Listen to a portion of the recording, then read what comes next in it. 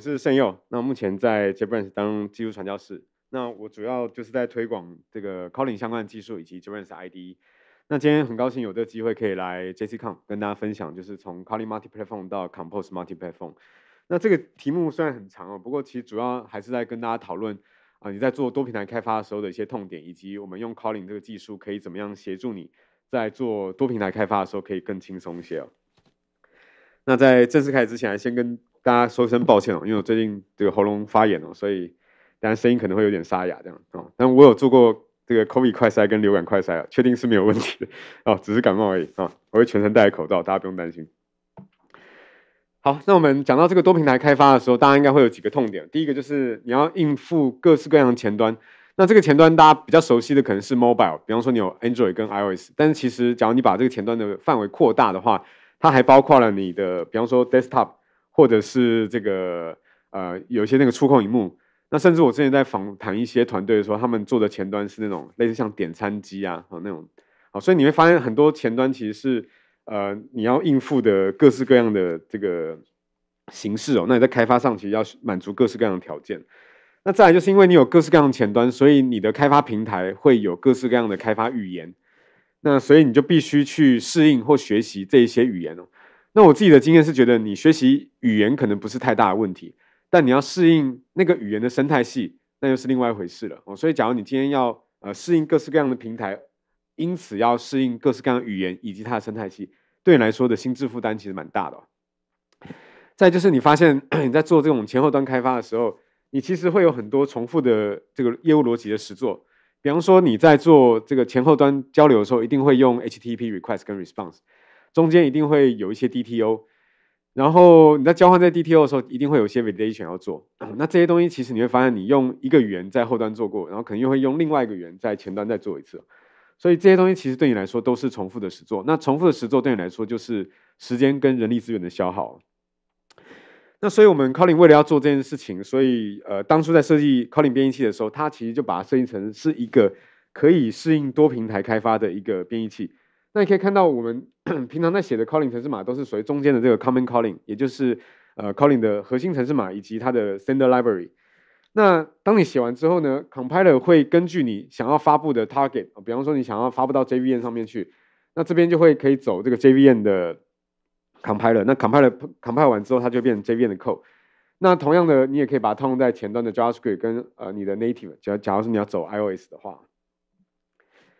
那所以 Calling 的这个 multi-platform 的开发模式呢，可以让你支援这么多不同的平台，从这个 server side 到 web 到 desktop 到 Android 跟 iOS 哦，那他们是怎么做呢？主要是 我们在底层当然会有各自平台的 API，但是你透过 Calling Compiler 之后呢，你可以用 Calling Multi Platform 技术去共用这些业务逻辑，让它可以在各个平台上呃重复使用。那我们就在想说，既然 Calling 可以做跨平台，那这个跨平台的最呃，明显的一个需求就是来做这个 mobile app，那大家熟悉的就是所谓的 Android 跟 iOS 哦。那所以那时候我们团队其实就有推出一个叫做 Calling Multi Platform Mobile，它其实就是希望可以用 Calling Multi Platform 这个技术来开发双平台的 mobile app。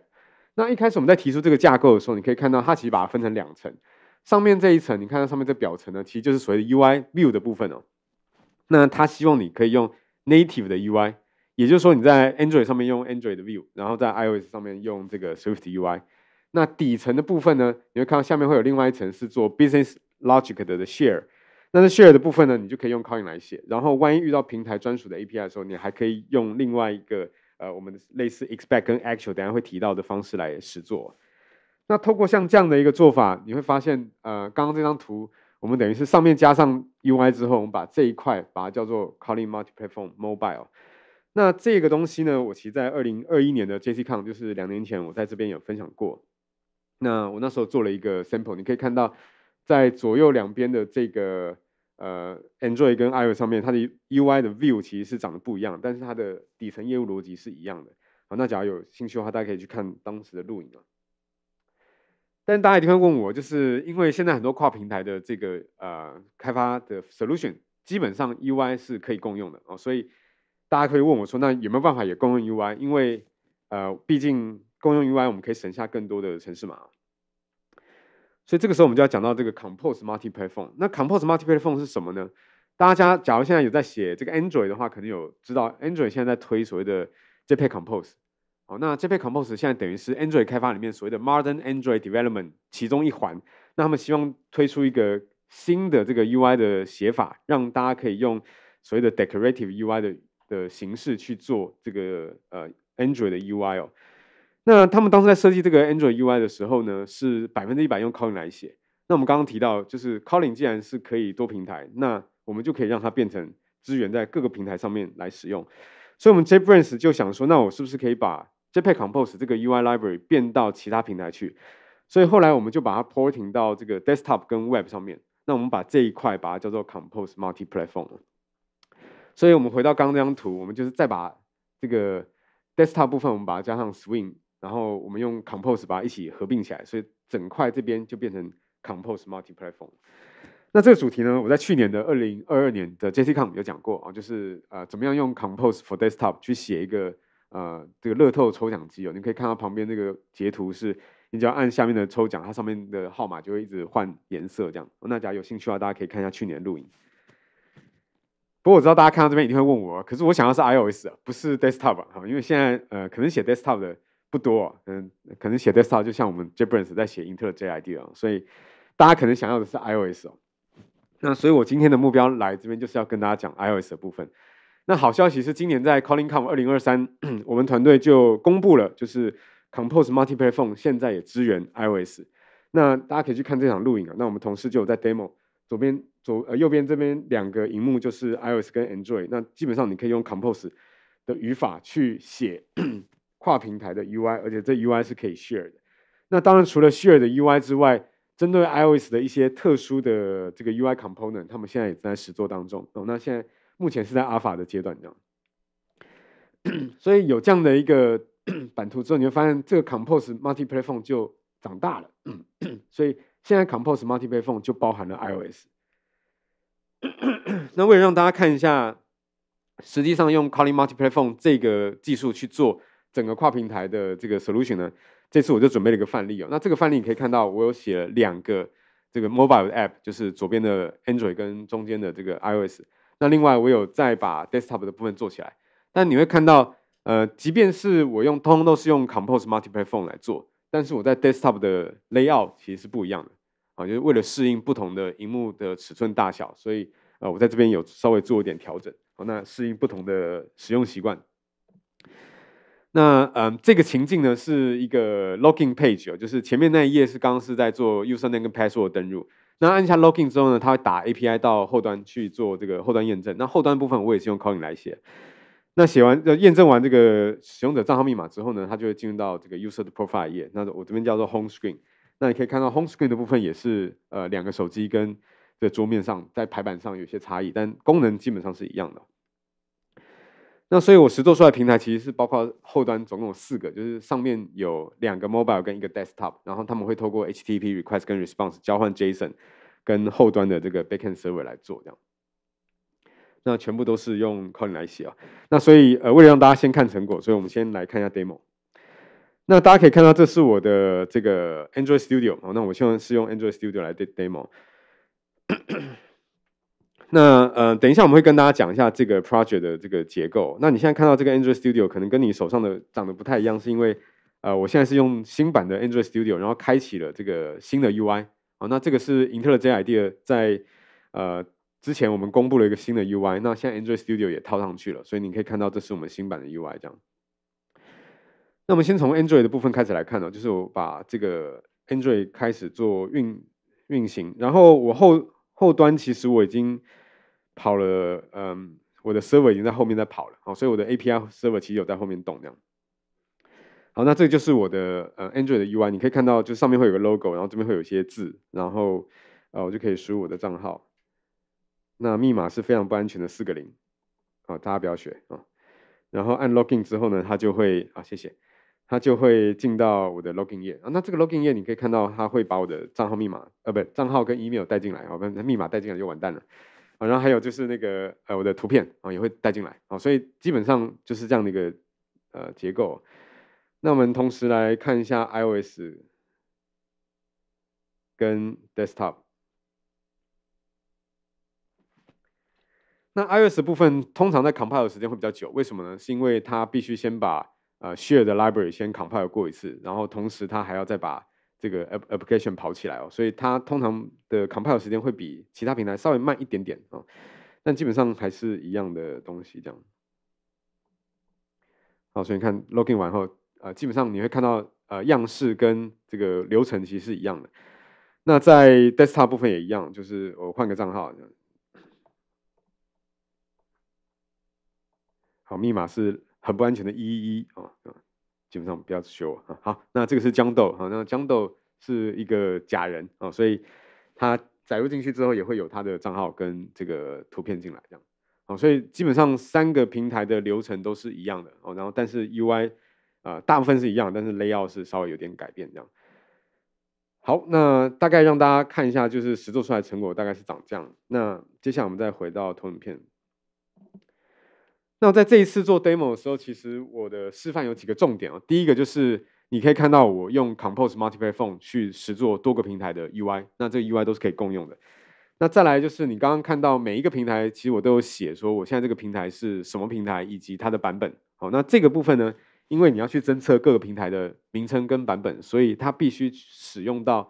这个平台专属的 API。那这个地方怎么做？用 Kali Multi-Platform 来做，等一下我也会跟大家介绍一下。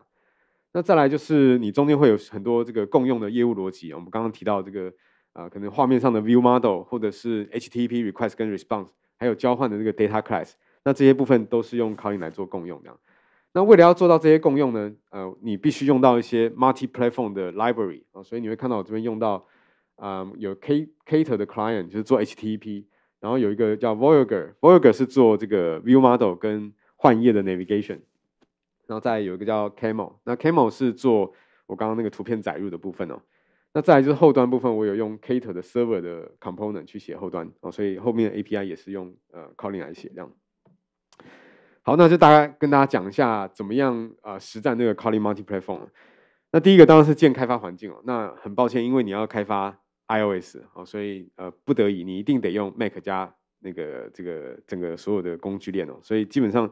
呃，你要开发 iOS 的部分，你还是得用 Mac。但是，假如你今天只想要 run 这个 desktop 或者是这个 Android 的话，你还是可以用 Windows。但是 iOS 的部分没有办法在 Windows 上跑。好，那这个大家跟大家提醒一下。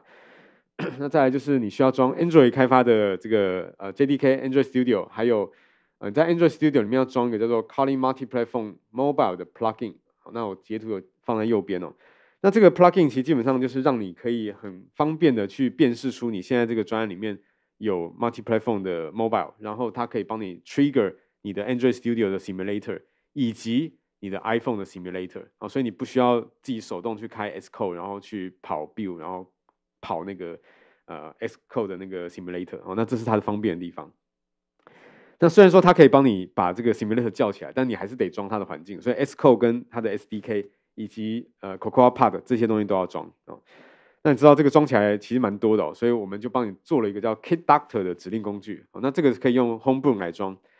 用 Homebrew 装好之后，你就只要下 Kit Doctor，那这个指令会帮你检查是不是所有的环境都装好了。好，那你看到所有绿勾都勾起来的话，就表示没有问题。那只要任何一个是红叉叉，那它会提示你哪里有问题。这样，环境有了之后，接下来就要看你的 Project Template，就是你要初始化一个环境。那我们团队现在是把这个专案放在这个 GitHub 上面，所以你可以直接把这个 repository 用 template 的方式把它 clone 回去哦。那 clone 回去之后，再把它放到你自己的本地端。那我们准备了两种 template，左边是这个呃两个 mobile 加一个 desktop 啊，就是我的状况啊，就是三种平台。那右边是只有 mobile，就是假如你只想要写 Android 跟 iOS 的话，你用右边的这个平台就可以了哦。所以看你的需求去选你的专案 template。那这个资料夹结构会长像这样。那上面这三个你可能相对熟悉，就是有 Android Android 的这个 App 跟 iOS App 跟 Desktop App 这三个呢，其实就是你原本在开发这三个平台的时候你的专案资料夹。那我们现在就是把这三个专案资料夹通通都塞在同一个资料夹底下。然后我跟这个 Project Template 不一样的地方是，你会看到我最下面有一个 Server 的资料夹。那我是把 server 的这个 API 的这个呃 application 的这个 code 也都放在这个资料夹底下，所以基本上我们是走这个 mono repo 的做法。那重点是中间有一个 shared，好，那 shared 呢就是所有共用的城市码都放在这里。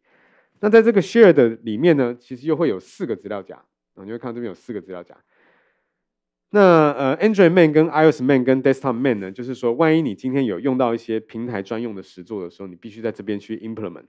但其实重点都还是放在 Common Man，就是因为我们希望最大化共用我们的城市码，所以基本上我这个范例，呃，可能百分之八十的城市码都是写在 Common Man 里面，哦，另外百分之十五可能是写在 Server 里面，哦，那其他你刚刚看到那些呃 Android App 啊，或是 Android Man 这些，大概占百分之五。那那些部分呢，都是呃 Project Template 都已经帮你写好了，哦，它只是比较像城市的进入点，那基本上你可以不用动它这样。好，那我们就先从 UI 部分开始讲怎么实做。那你可以看到我们的 UI 其实呃还蛮单纯的，就是上面会有一张这个图片，我们把它叫 logo，然后这边会有一段字是写说它在什么平台以及什么版本，然后再来会有一个 login 的 form 啊，就是账号密码跟一个 login button，然后下面会有两个呃就是 forget password 跟 sign up 的 link 啊，就只是这么几个简单的单纯的呃元件哦。那因为我为了要做这个页面跟换页，所以我用了这个 Voyager 这个套件哦。那当然你你可能平常有自己习惯的做法，但是我用的是 Voyager 这个套件。那你可以选择的套件可能也不只是 Voyager 哦。那 Voyager 里面的设计是说，你每做一个画面就做一个 screen 出来，所以你会看到我这边做了一个 login screen，那它会继承它里面的一个物件叫 screen。那这 screen 里面呢，会有一个 content 的这个 function，那这个 function 就是 composable 的 function，所以你只要在这个 content 里面去写你的 UI 就可以了。那再来，因为我们希望可以把这 UI 元件化，因为为什么要元件化？主要是因为我希望可以在 desktop 跟呃这个 mobile 上面去共用。那因为我 layout 要不一样，所以我里面的这些元件，我希望可以把它元件化。那我到时候只需要在两个平台上面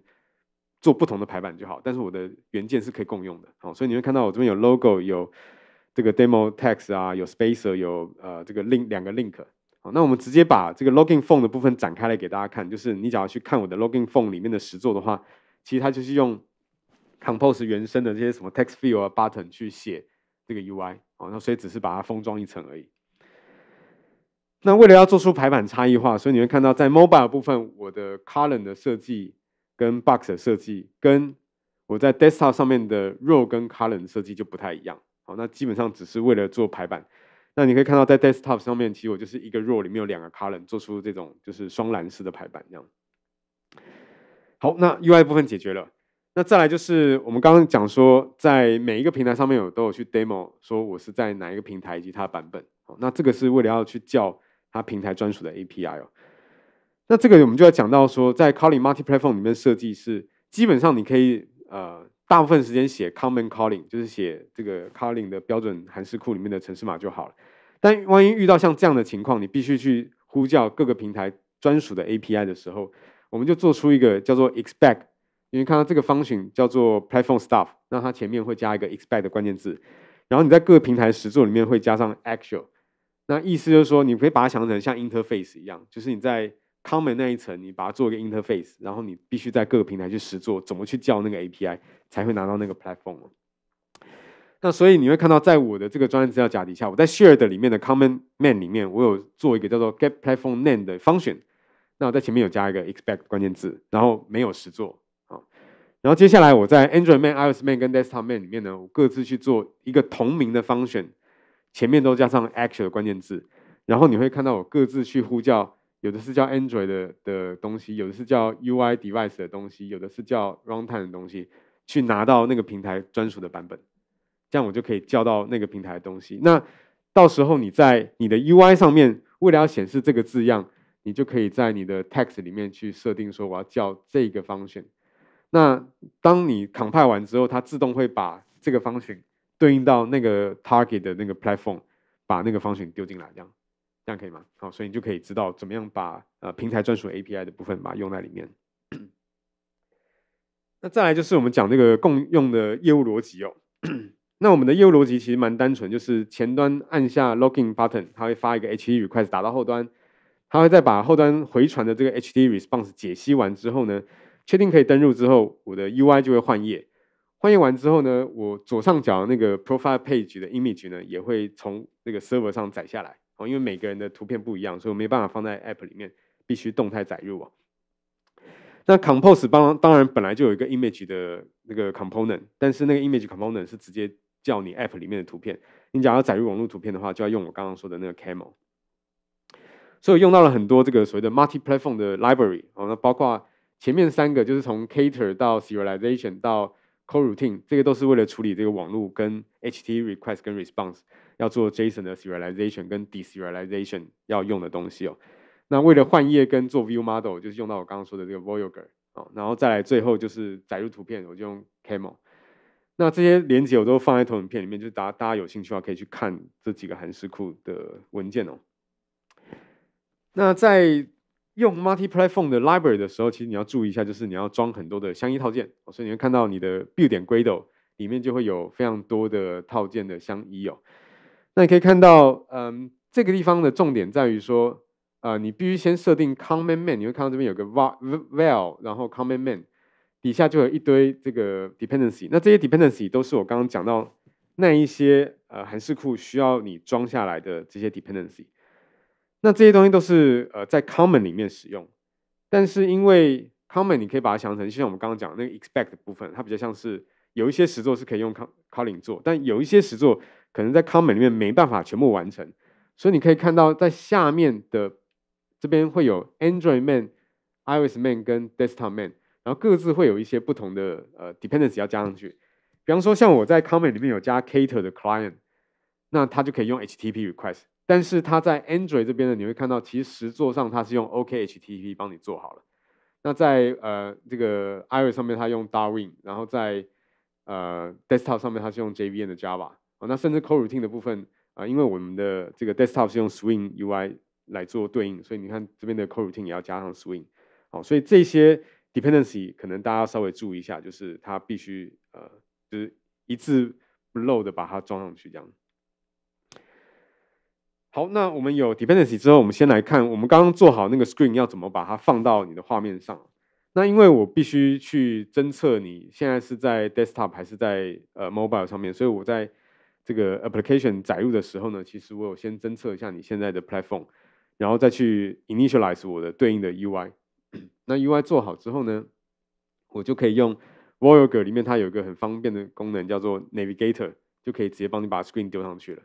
好，那其实这个 Navigator 跟你原本用 Android 的那个 navigation 的那个 library 概念上差不多，然后它只是帮你做成 multi-platform 而已。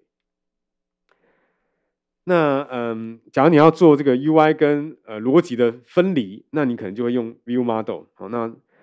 那 View Model 因为有 Voyager 的关系，所以我们也可以共用。所以在这个 Voyager 里面，我这边就做了一个 Login Screen 的 Model。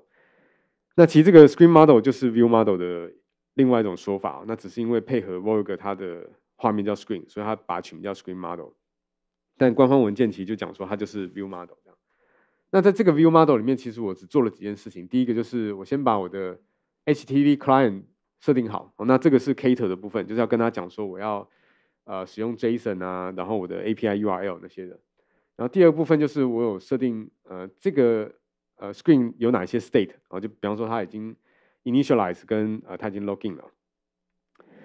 再来你会看到我下面呃就是设定说，当这个使用者按下 login button 的时候，这个 view model 的这个 login 动作要做什么？那你会看到我这边其实就是开一个 coroutine，然后去打 HTTP request，然后把 HTTP request 丢回来的东西。deserialize 成 data class，然后把它塞到 state 里面来。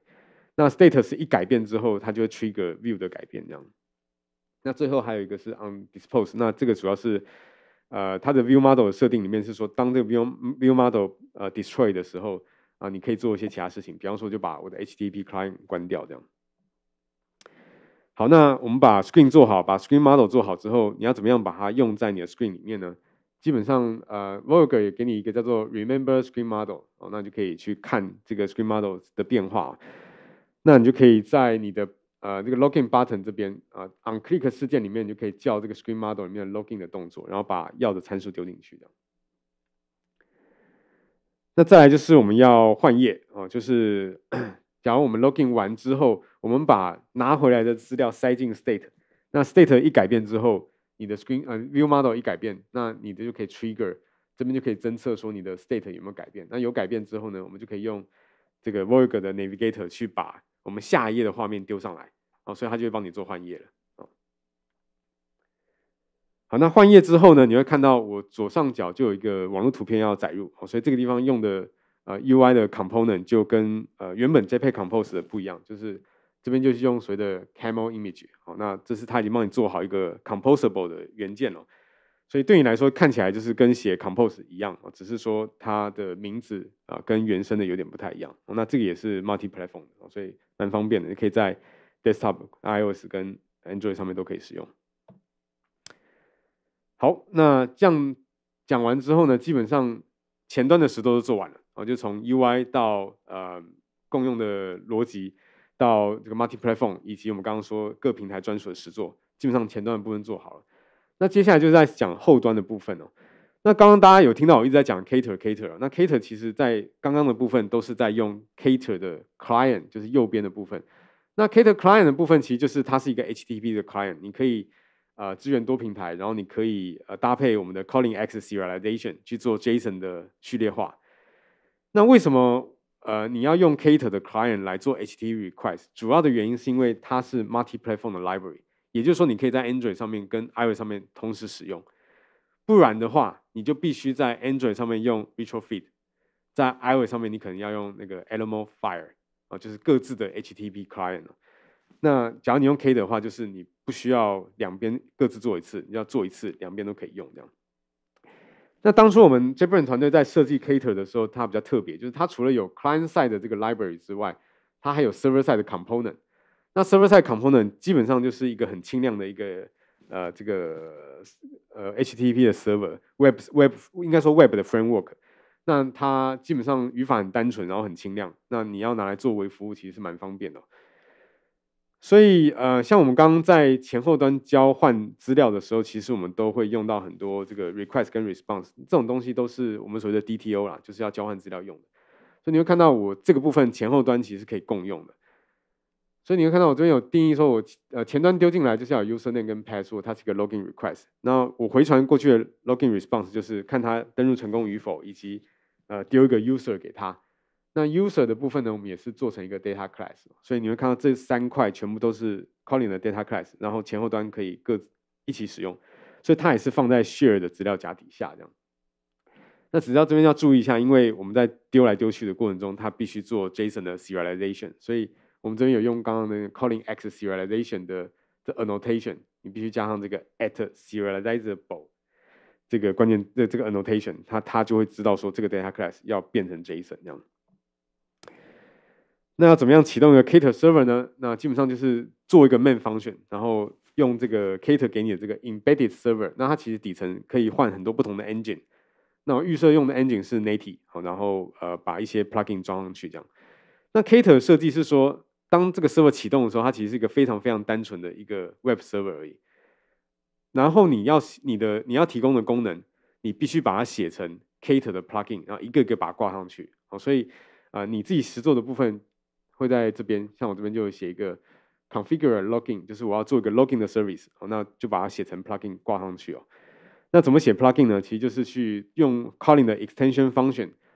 在这 extension function 里面呢，我就跟他讲说我要开一个这个 routing，然后这边有一个 HT post 的路径哦。那我在这个 routing 里面呢，我就会拿到这个 application code，然后我就可以拿到前端丢过来的这个 login request。那他会把前端丢过来这个 JSON 呢，直接帮你这个反序列化成一个 data class，所以你就会拿到这个 login request，就我们刚刚看到 data class。然后中间就看你自己想要怎么去验证你的登录的这个程式码。好，那这个我就呃大家各自实做可能不一样，我就暂时不提了。那最重重点是说，你当你确定可以呃登录之后呢，你要再丢一个 login response 回去。好，所以 login response 丢回去的时候呢，你要丢一些你要的资料进去，然后它 Cater 会这么帮你。Serialize 成这个呃成这个 JSON，那所以前端拿到又会变成 JSON 这样，好，所以就是收 JSON 转 data class，然后再把 data class 转成 JSON 的一个过程这样。好，这样前后端就做完了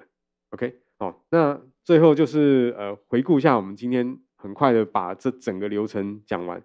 那跟大家提一下就是用 Calling Multi Platform 的开发方式、流程以及呃一些好处。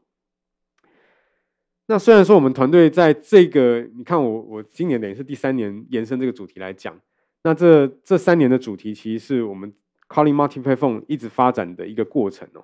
那在这过程中，其实刚刚其实有很多不同的名词，比方说我们刚刚提到 Calling Multi-Platform Mobile，其实讲的是用 Calling Multi-Platform 技术做右边这两个。然后我们说的这个 Compose Multi-Platform，其实是用 Calling Multi-Platform 这个技术去做上面这四层的 UI 共用的 UI。哦，但是呃，虽然说我们有这么多名词，但其实回归到最后，其实都是。Calling Multi-Platform 这个技术延伸出来的子集哦，所以其实整个全版图就是我们现在画这张图，就是你可以看到在底层的部分，你可以用 Calling Multi-Platform 来共享业务逻辑。当然，我们刚刚有提到各个平台专属的 API，你还是可以透过刚刚说的 Expect 跟 Actual 来做借接这样。那 UI 的部分呢，你现在可以用 Compose Multi-Platform 来写共用 UI，但万一你觉得不够的话呢，你上面还是可以用各自的。呃，原生的 UI 来实做这样，好，所以整个 Calling Multi-Platform 呃做起来就是长这个样子。那当然，Server 的部分你会觉得，哎，好像呃空空的，因为 Server 部分我们先暂时假设它没有 UI 这样，啊，大概是这样。那我们刚 的实作范例就是一个 Login Page，哦，所以你会看到在嗯 iOS 跟 Android 跟 Desktop 上面 UI 基本上长得都一样，那语法都是用呃这个 Compose 的语法。那为了让它 layout 不一样，其实我有做一些不同这个排版上的调整哦。但是这些程式码呢，基本上都写在我们刚刚说的 share 的底下的 command Man 底下哦。所以今天 demo 的程式码基本上都是在呃 Shared 的部分哦。那这样的呃的开发方式，你会发现就是基本上，嗯，你可以共用的部分是越来越多了。跟我前几年的那个呃范例比起来，就是共用部分已经最大化了。那所以我们刚刚示范的几个重点，我们再回顾一下。第一个就是，呃，我们的 UI 是用 Compose Multi-Platform 来 share，然后我们有一个平台专用的 API，我们用 Expect 跟 Actual 来去抓平台名称跟它的版本。然后我们为了要做这个共享业务逻辑部分，我们用呃，我们要有这个 View Model、HTTP 跟 Data Class，所以我们有用到很多 Multi-Platform 的函式库啊，包括 Cater 的 Client、Voyager 跟 Camel。那后端的 API 服务，我们是用 Cater 的 Server 的 Component 来做这样，所以整个。东西是呃一整套的这样，那大家听完以后一定会好奇问我说，那呃用 Calling Multi-Platform 来开发多平台到底有什么优势哦？那这边呃整理几个我觉得最明显的优势哦。第一个当然就是我们用单一语言来跨多平台哦。那我们刚刚一开始有提到，就是你要用呃不同语言去开跨多个平台，其实是辛苦的哦。那不只是语言本身，还有生态系的问题。哦，所以呃，假如你用 Calling 的话，基本上你只要熟悉 Calling 以及 Calling Multi-Platform 的生态系，基本上你可以做到多平台的开发这样。那第二个就是你会发现 Calling 在做 Multi-Platform 的时候，它基本上是走就是原生的这个做法哦，所以呃，你不管用 c o l i n 怎么写，它 compile 到那个 target 的 platform 的时候，它都会尽量把它 compile 成那个 platform 相容的原生的这个程式码。所以，嗯，它走的方式是走原生的，比较不是会就架空一层做 VM 这样。那第三个，我觉得是对于，假如你已经这个现有已经有 App 了，比方说你现在已经有 Android 团队写 Android App，也有 iOS 团队在做 iOS 的 App，那当你想要想要 migrate 到 Calli Multi Platform 的时候，啊，这个呃，这就是一个不错的优势。为什么呢？因为 Calli Multi Platform 它可以依照你自己的需求去调整。你共享城市码的比例，所以你可以看到下面这张图，就是一开始你们可能本来两个平台没有共用城市码，那你可以先从一些很小的 logic 开始哦，就是你可以想从一些 logic 开始做共用城市码。那像我会觉得从这个 data class 开始做，可能是相对简单的，我就是把一些最简单的资料先把它用 calling 来做。那接下来你可能就可以开始把一些 business logic 开始做呃共用，或者是一些 presentation 的部分做共用。那这个是。可能到第二阶段，那到第三阶段的时候，你会发现，哎，这个我连 UI 部分都全部共用了，哦，所以你是可以去根据不同的情境跟需求来调整共享城市码的比例。那或者是说，像我知道有些团队，像我那时候在访谈一些有在用 Calling Multi-Platform 的团队，那他们就觉得有时候 UI 共用不见得是他们的目标，他们的重点是他们要 share 这个业务逻辑，所以像他们就决定他们只走到中间就好了。哦，所以这个是可以依照你的这个呃需求跟情境来做调整的。那这也是 Calling Multi-Platform 的一个，我觉得是一个优势哦。那所以你去对比一下其他的 solution 哦，那当然右边的这个 Calling Multi-Platform 基本上可以做到我们刚刚说的这些优势。但假如你今天是用原生的这个写法，就是 native 的做法呢，基本上当然你可以有原生的效能啊，然后呃在 cross platform 的时候，你可以有完整的控制能力，但它当然就没有办法 share code，然后以以及它也没办法去买贵到其他的这个平台上。那当然，相对于其他的这个呃，就是 cross platform 的这个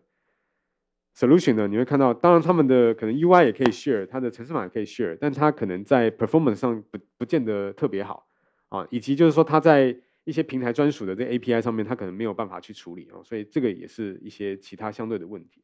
那所以我觉得 calling multi-platform 算是走在这两者之间呢，我就尽量找到一个平衡这样。那我们刚刚提到，就是一个语言之外，生态系蛮重要的。所以，嗯，Kotlin 的 Multi-platform 生态系现在也慢慢建起来。你可以看到，啊，你要做这个 HTTP，我们刚刚说有 Cater 啊，你要做 IO，我们也有呃这个 OKIO。你要做 Datetime，你要做 Dependency Injection，你要做 Testing，你要做 Database，你要做 Serialization。那现在这些生态系已经慢慢做起来，所以啊，你只要选择正确的这些 Library，哦，那我们这边官方其实也做了很多。那只要有用这些 Library，基本上你可以跨。这个 multi-platform，啊，所以假如今天像你在写 Android，那对 Android 来说，用 Kotlin multi-platform 是相对比较简单而且好入手。为什么？因为 Kotlin 在 Android 本身就是 native 了。好，那你唯一要做的事情就是把你原本你用的 Android 的那些 library 没有办法 multi-platform 的，你可能要把它拔掉，换成 multi-platform 的，那你就可以把它跨到 iOS 上面去了。好，那这个是呃用 multi-platform 的重点了。好，那今天假如听完这个主题之后，你对于 Kotlin Multi-Platform 有兴趣的话，那这边给大家一些学习资源哦。左边这个是 Kotlin Multi-Platform 的官方页面，那它有解释这个技术的所有细节以及一些技术的文件哦。那这是针对我们刚刚说底层的这个业务逻辑共用部分。那右边是 Compose Multi-Platform 的官方页面，那它主要是在 demo 怎么样用 Compose 的语法去写跨平台 UI，好，以及它的一些文件这样。那假如你想看怎么用 Kotlin 呃 Compose Multiple Phone 来写一些 App，然后跨平台化，官方其实有做了一个范例集哦，就是你可以看到这边有一堆范例哦。那这些范例它它旁边都有写说他们示范了哪一个平台，以及他做了呃什么事情。那每一个示范的重点都不太一样，大家可以再去看一下。那假如大家想要去听一下别人用 Kotlin Multi-Platform 做了哪一些事情，然后他们怎么用在他们的实际的案例上面，那可以去听一下我跟这个 Kotlin User Group 的这个伙伴一起录的这个 Podcast，叫 Kotlin 炉边漫谈哦。那我们在第五集以及第八集哦，有各自有访问到这个来自这个大陆的那个携程以及阿里巴巴跟美团哦，他们这三个团队都有来跟我们聊过他们用 Kotlin Multi-Platform 的一些经验哦。那尤其是第八集，我觉得他们呃有讲到说，像我那时候才知为什么刚刚讲说那个前端里面有包含点餐机这件事情。那那个是美团跟我讲，就是他们在做 multi-platform，其实是希望连点餐机啊这些东西他们都可以用 Kotlin 来做，所以他们其实有蛮多成功的经验。那大家有兴趣的话，可以去呃我这个 podcast 叫 podcast 点 Kotlin 点 tips 这个网站，就可以看到我们所有的集数，或者在 YouTube 上面搜寻就有。好，那假如嗯对 Colin 有兴趣的话，也欢迎来参加我们 Colin 的社群哦。那我这边有架一个网站叫 Colin 点 Tips，那就是所有上面有很多学习资料，包括我们的读书会啦，或者是这一些主题教学文章哦。那也可以加我们的 Line 群跟 Telegram 群。那 Line 群的部分，因为我们要挡广告账号，所以呃这个 QR code 其实是我的 Line 账号，这样 不是要骗各位的 Line 哦，就是扫了以后我会先确定你是真人，然后才把你加进去这样。好，那 Telegram 的话就没有这个限制这样。OK，好，那或者是你想要用 email 或者是其他方式来联络我也可以。好，那啊今天的这个分享就是从 Calling Multi-Platform 到 Compose Multi-Platform，在多平台间共用这个业务逻辑与 UI 界面。好，那希望这个主题对大家有帮助。好，谢谢大家。